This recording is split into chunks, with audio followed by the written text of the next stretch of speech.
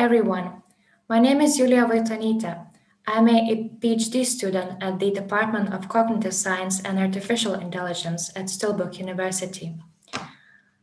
I work on a project where the goal is to create a virtual human. And today, in my presentation, I will explain what I mean uh, by virtual human and also talk about some of my research where I studied how we, real humans, perceive the virtual ones. So, to get the concept of virtual human in place, let's start with something that is much more familiar robots. Most of you would have seen a robot either in real life or in a movie. Many of you, I believe, are becoming more and more accustomed talking to your devices. Perhaps not yet having quite meaningful conversations, as this guy in movie Her, but this may well come in the future. But today, I won't talk about disembodied artificial intelligence. My talk is about virtual humans. And actually, there are many names to call this technology, such as embodied conversational agents, virtual agents, intelligent virtual agents. I like calling them virtual humans. These are software entities, more or less intelligent and more or less autonomous. And they are meant to have uh, conversations with humans uh, via natural language and also uh, using nonverbal uh, means to communicate, such as facial expressions, gestures, uh, gaze. And quite importantly, they have an embodiment. Some 15, 20 years ago, this is how they looked like pretty much cartoon characters. These days, they are starting to resemble more and more actual humans uh, due to advances in technology. Uh, but then the question is if um, those faces uh, of virtual humans looked human like to you, wh- why uh, do we want to have a human like face for an entity that is definitely not a human? And actually, the answer comes from some of the research in robotics. Uh, so, for example, with robots, we saw that uh, when we have imperfect human likeness, uh, people get negative reactions. So their reactions to uh, a face that is imperfect, almost like a human, is negative. Uh, we get this eerie sensation. So this is one of the reasons, the reason why we would like to have human-like face for virtual humans. And in my research, uh, I set out to answer two questions. So looking at these faces of virtual humans created with the advanced technologies, uh, does that mean um, are we already not able to distinguish these faces from the actual human faces? That was one of the questions that I was interested in. And also, what in the face makes the, uh, the face appear human-like? Where does human likeness reside in the face? So I did some experiments in one of the experiments, I had a pool of different images uh, human faces, uh, virtual human faces, and also objects that look like uh, the face, resembled faces. And I gave participants to rate these images on human likeness. What I found was that actually the virtual human faces, they were not perceived as human-like as the actual faces, even though uh, they looked pretty decent.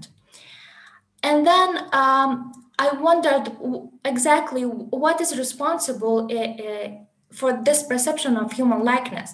So we did some image processing, and what we found in that analysis, we found two features to be influential for the perception of human likeness.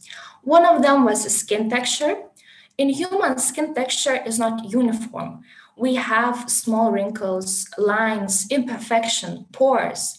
No one knows how many holes you have in your skin, but you're seriously perforated. This was in stark contrast to the uh, skin texture of virtual humans uh, that was uh, smooth. Another feature that we identified was the eyes, and specifically these highlights in the eyes, corneal reflections, as they are called.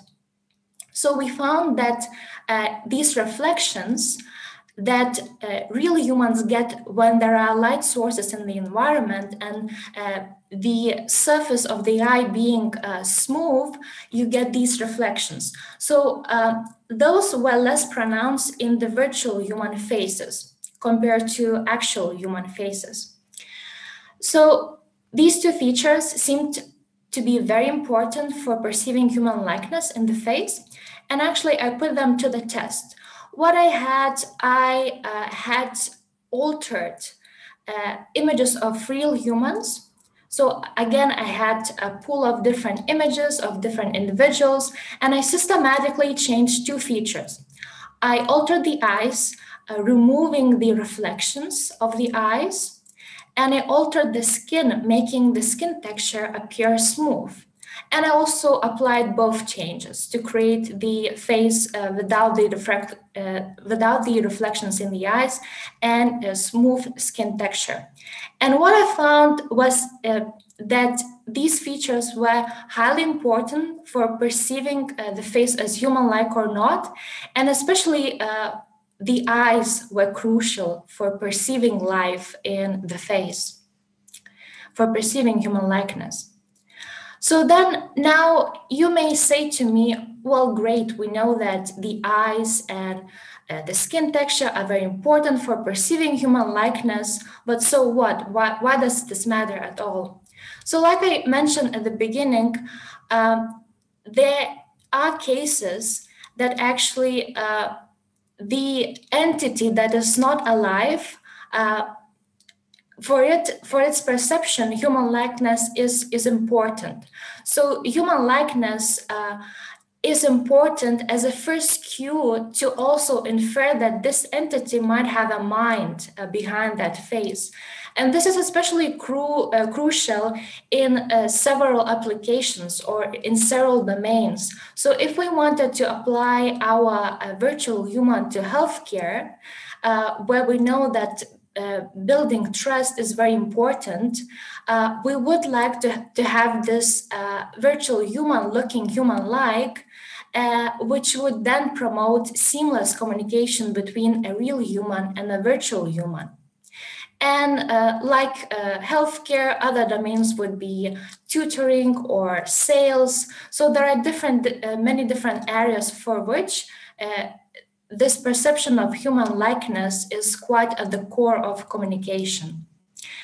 So uh, today you have learned what features engender this perception of human likeness and why this may be important. So thank you for your attention.